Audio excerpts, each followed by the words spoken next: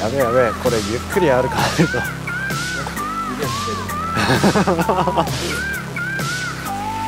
やばい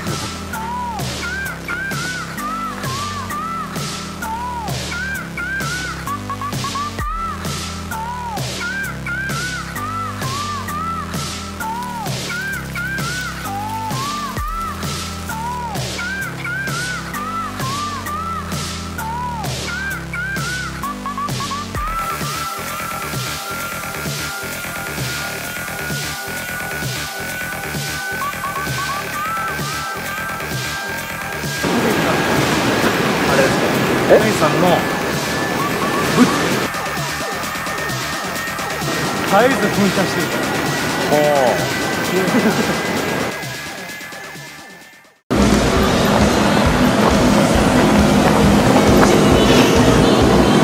今日レポートするのは広谷温泉の竹城源泉です。皆さんも見たことあるでしょうか？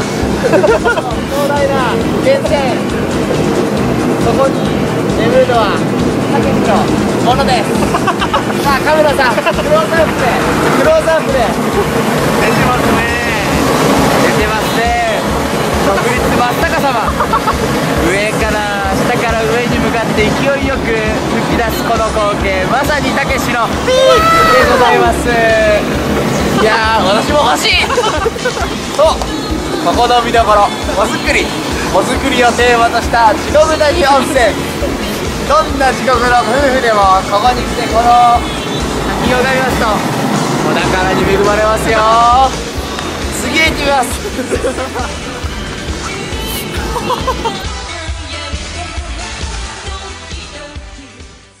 準備しとかなくちゃね。はいはいはい。地獄谷。ね。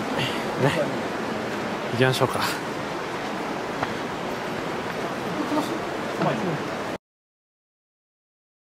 さあというわけで 地獄を見ていただきまして地獄の上にあるものはそうこの景色。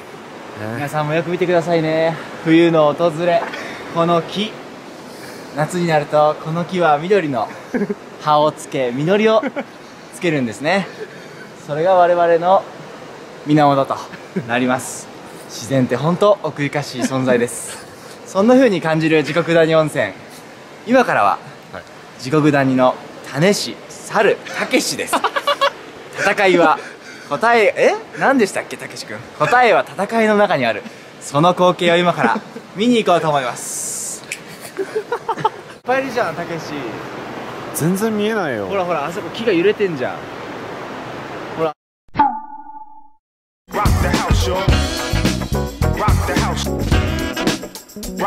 Shaw. Rock the house. Rock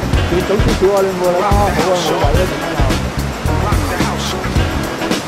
Rock the house. Rock the house.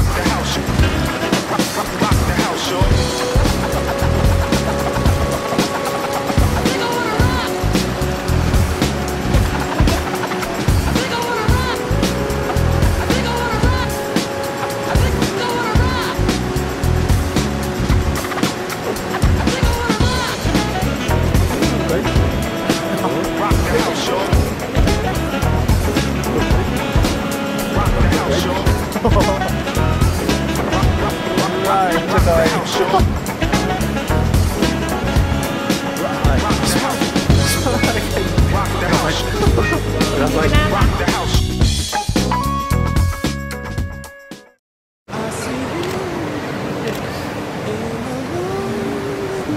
い。